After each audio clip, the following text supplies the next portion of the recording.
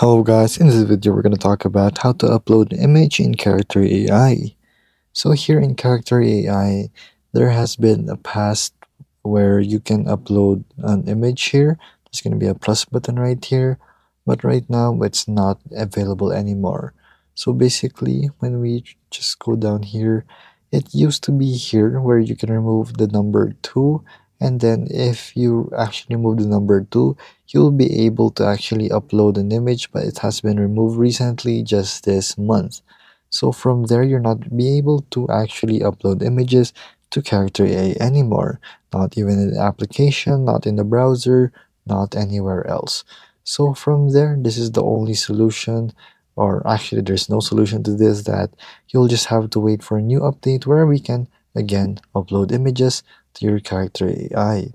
So if this video was helpful, please hit the like button and don't forget to subscribe.